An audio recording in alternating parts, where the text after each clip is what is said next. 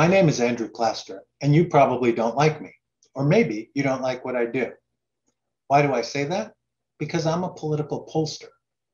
And why do so many people say they don't like political pollsters?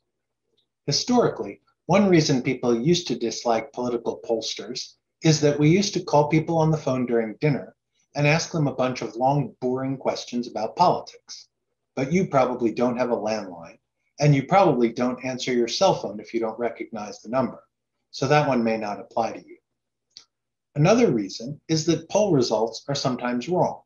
For example, during the 2016 presidential election.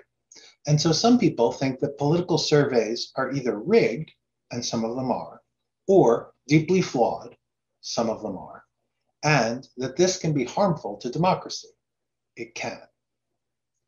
Third, I'm a partisan hack.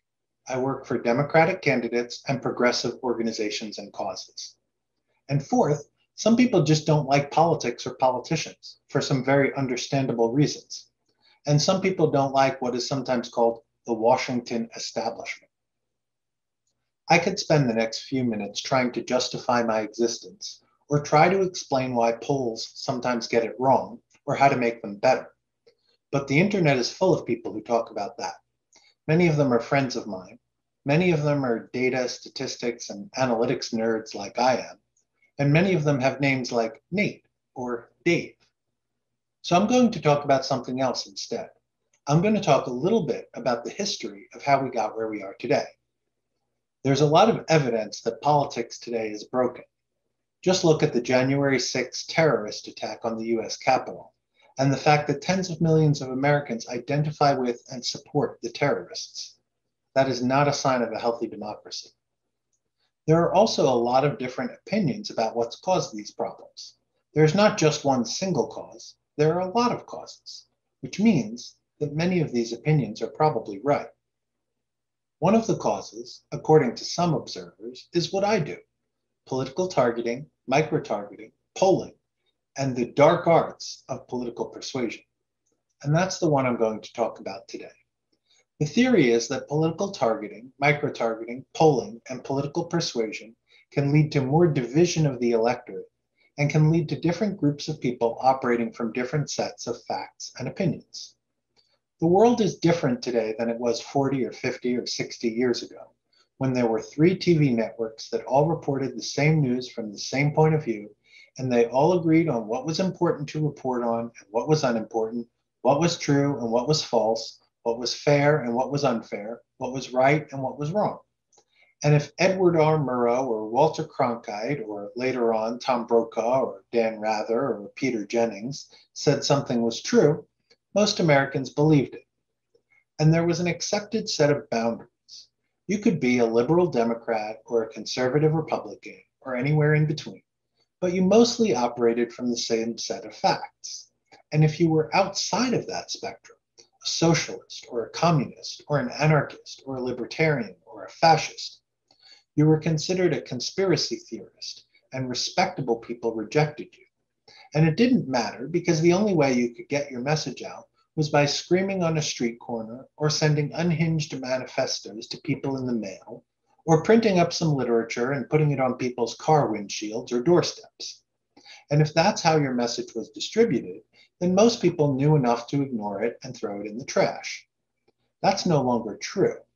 Now people with those views get to share them during prime time on cable television and satellite radio and podcasts and Facebook and Twitter and millions of people like and share and retweet and amplify these messages. So, part of what's changed is that virtually everyone now has access to platforms that allow them to distribute their message to millions of people. And the more outrageous the content, in some cases, the more likely it is to be shared and distributed widely. But another part of what's changed is that we have a greater ability to hone and target our message to people we want to influence through the use of big data analytics and micro-targeting. And it may very well be the case that the critics are right and that this has helped make our politics more divisive and to make our country more divided. But what I want to share with you today is that the use of data and person level voter targeting is not actually as new as many people seem to think. In fact, very little of what we do today for political campaigns is actually new.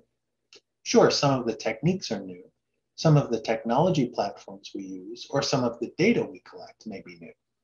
But just as an automobile once replaced a horse for traveling from point A to point B, we use these new technologies and techniques to conduct the same activities that political campaigners have used for hundreds or even thousands of years.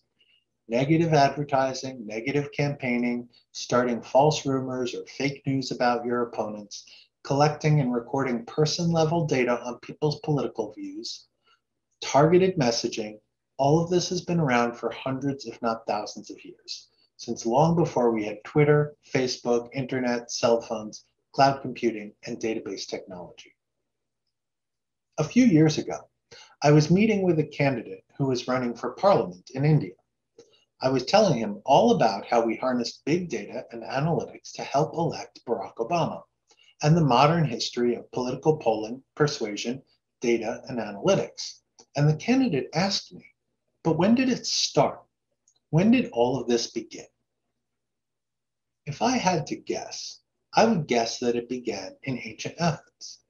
I imagine that 3,000 years ago, there was probably a guy just like me with a piece of parchment or papyrus or a tablet and he would go around talking to all the eligible citizens, asking them how they were going to vote and making a note of who was a supporter, who was an opponent, who might be persuadable, and what arguments or facts might help persuade the persuadable citizens.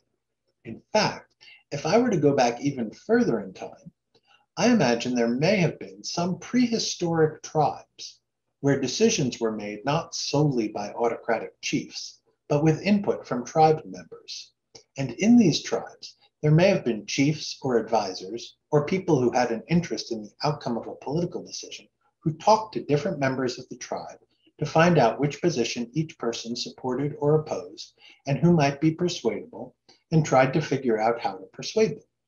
But that's just speculation on my part. The earliest campaign slogans that I know of are visible in Pompeii, which means they are around 2,000 years old. There are more than 1,500 instances of political graffiti at Pompeii, which was simultaneously destroyed and preserved by a volcano in 79 AD. Here are some of those examples. Magonius supports Cuspius Pansa for Aedile, an endorsement. All the worshippers of Isis call for Helvius Sabinus as Aedile, a religious endorsement. Innkeepers make Celestius Capito Aedile, what we today would call occupation-based or identity group targeting. And negative campaigning. The petty thieves ask you to elect Vatia as Aedile.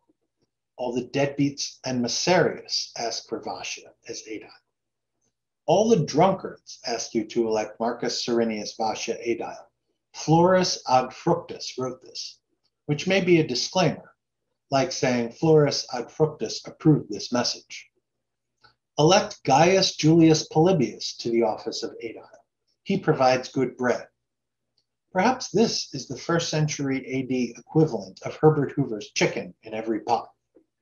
And finally, we have the endorsement of the chicken vendors and the mule drivers. But when my Indian colleague asked me when this all began, I didn't go back to ancient Rome or Greece or prehistoric tribes. I only went back as far as Abraham Lincoln in 1840. In 1840, Abraham Lincoln was an Illinois state legislator, just like Barack Obama was 160 years later. And also like Barack Obama, Lincoln was a political organizer before becoming a state legislator. During the 1840 election, Lincoln co signed a letter providing instructions on how to organize political activity at the county level. And I want to share part of that letter with you now. Lincoln and his co authors open with red meat to rev up the base and get them to volunteer. The language you see here overthrow the corrupt powers that now control our beloved country and overthrow the trained bands that are opposed to us. Sound a lot like the political rhetoric that we see and hear today. Once the supporters are hooked, the letter explains the strategy. Our intention is to organize the whole state so that every Whig can be brought to the polls in the coming presidential contest. Today, we call this voter mobilization, turnout, or GOTV, which stands for Get Out the Vote. They go on. Divide the county into small districts, appoint in each a subcommittee whose duty it shall be to make a perfect list of all the voters in their respective districts. Today, we call this a voter list. And to ascertain with certainty for whom they will vote, today we call this supporter identification. If they meet with men who are doubtful as to the man they will support, such voters should be designated in separate lines with the name of the man they will probably support. Keep a constant watch on the doubtful voters and from time to time have them talked to by those in whom they have the most confidence, and also to place in their hands such documents as will enlighten and influence them. On election days, see that every Whig is brought to the polls. In addition to this letter, there are a couple other quotes from Lincoln that I want to share. The first is this one Our government rests in public opinion. Whoever can change public opinion can change the government. And in this age, in this country, public sentiment is everything. With public sentiment, nothing can fail. Without it, nothing can succeed. Whoever molds public sentiment goes deeper than he who enacts statutes or pronounces judicial decisions. I wanted to share this letter and these quotes for a couple of reasons. First, they demonstrate that Lincoln was not just a great president, but also a great politician, organizer, campaigner, and strategist. Also, all the parts of a modern campaign are captured by Lincoln. Public opinion, targeting, endorsements, persuasion, fundraising, organizing, canvassing, data capture, strategy, confidentiality, vote counting, voter turnout, influencer identification, and deployment. Today, we may use technology tools and platforms such as Twitter, SMS, mobile phones, digital ad testing, machine learning, and artificial intelligence. But everything we do today has the same purpose as what Abraham Lincoln was trying to do back in 1840. Identify your supporters, opponents, and persuasion targets, turn out your supporters, identify the most effective and efficient ways to persuade your persuasion targets, deliver your persuasion message to your persuasion targets efficiently and effectively, talk to voters, count votes, etc. That part is pretty much the same as it was 180 years ago. So what I want to suggest to you is that despite all the talk of 21st century targeted messaging, use of data and analytics to reach voters one-to-one and peer-to-peer, the basic functions of campaigns are remarkably similar to standard campaign practice nearly 200 years ago, or perhaps even 2,000 years ago. The technology may have changed, but the principles are very much the same.